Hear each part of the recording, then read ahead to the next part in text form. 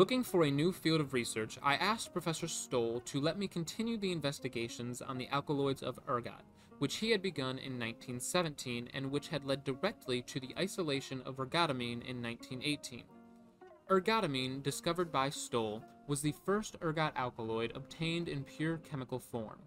Although ergotamine quickly took a significant place in therapeutics as a hemostatic remedy in obstetrics and as a medicine in the treatment of migraine, chemical research on ergot at the Sandoz laboratories was abandoned after the isolation of ergotamine and the determination of its empirical formula.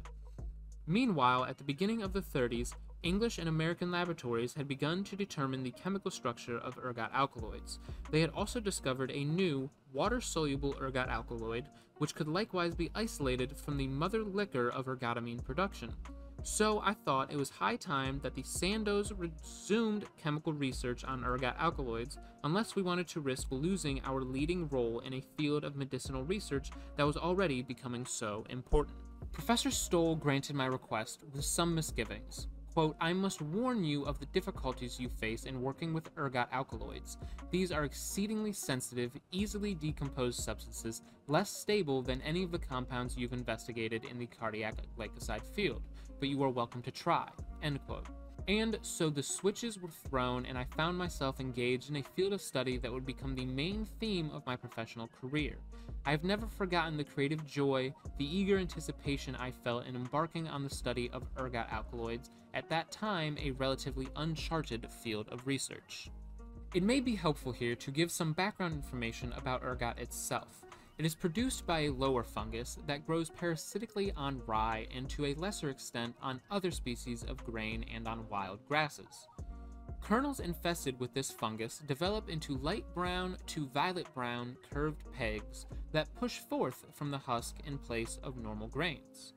Ergot is described botanically as sclerotium, the form that the ergot fungus takes in the winter. Ergot of rye is the variety used medicinally. Ergot, more than any other drug, has a fascinating history in the course of which its role and meaning have been reversed. Once dreaded as a poison, in the course of time is become a rich storehouse of valuable remedies. Ergot first appeared on the stage of history in the early Middle Ages as the cause of outbreaks of mass poisonings affecting thousands of people at a time. The illness, whose connection with ergot was for a long time obscure, appeared in two characteristic forms, one gangrenous and the other convulsive. Popular names for ergotism, such as mal des ardents, ignis sacer, Heliges furor, or St. Anthony's fire, refer to the gangrenous form of the disease. The patron saint of ergotism victims was St. Anthony, and it was primarily the Order of St. Anthony that treated these patients. Until recent times, epidemic like outbreaks of ergot poisoning have been recorded in most of European countries, including certain areas of Russia. With progress in agriculture and since the realization in the 17th century that ergot containing bread was the cause, the frequency and extent of ergotism epidemics diminished considerably. The last great epidemic occurred in certain areas of southern Russia in the years 1926 through 27. The first mention of a medicinal use of ergot, namely as an ecbolic, or a medicament to precipitate childbirth, is found in the herbal of Frankfurt city physician Adam Lonitzer in the year 1582. Although ergot, as Lonitzer stated, had been used since olden times by midwives, it was not until 1808 that this drug gained entry into academic medicine, on the strength of a work by the American physician John Stearns entitled Account of the Pulvis Parturiens, a remedy for quickening childbirth. The use of ergot as an ecbolic did not, however, endure. Practitioners became aware quite early of the great danger to the child, owing primarily to the uncertainty of the dosage, which, when too high, led to uterine spasms. From then on, the use of ergot in obstetrics was confined to stopping postpartum hemorrhage. It was not until ergot's recognition in various pharmacopoeias during the first half of the 19th century that the first steps were taken toward isolating the active principles of the drug.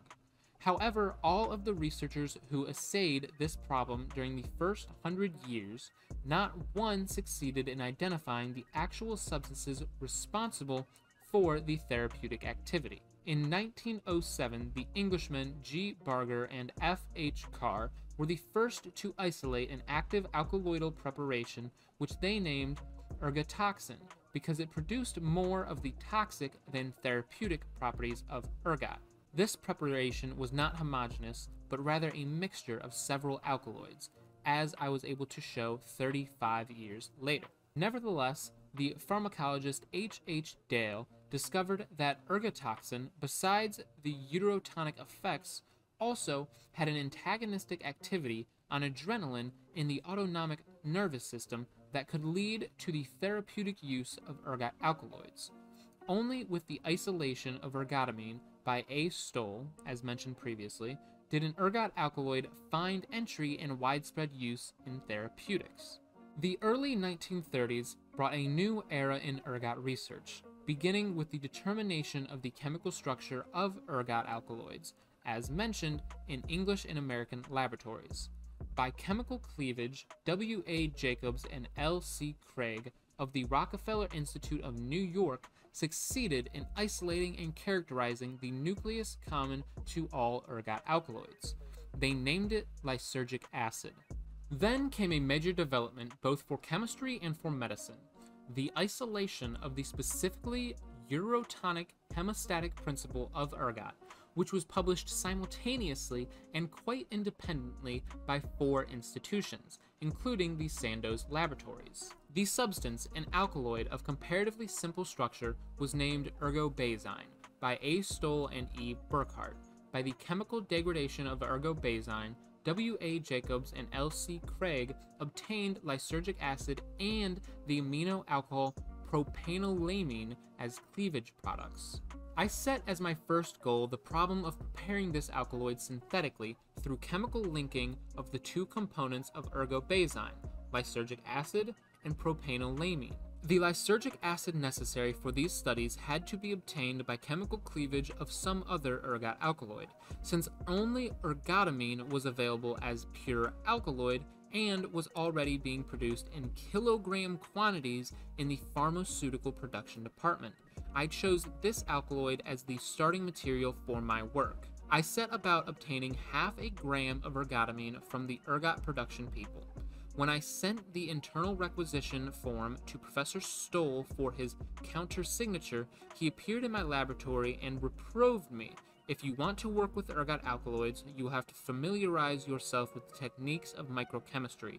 I can't have you consuming such a large amount of my expensive ergotamine for your experiments. The ergot production department, besides using ergot of Swiss origin to obtain ergotamine, also dealt with Portuguese ergot, which yielded an amorphous alkaloidal preparation that corresponded to the aforementioned ergotoxin first produced by Barger and Carr. I decided to use this less expensive material for the preparation of lysergic acid.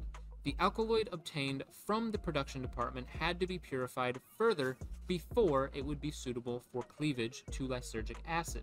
Observations made during the purification process led me to think that ergotoxin could be a mixture of several alkaloids rather than one homogeneous alkaloid.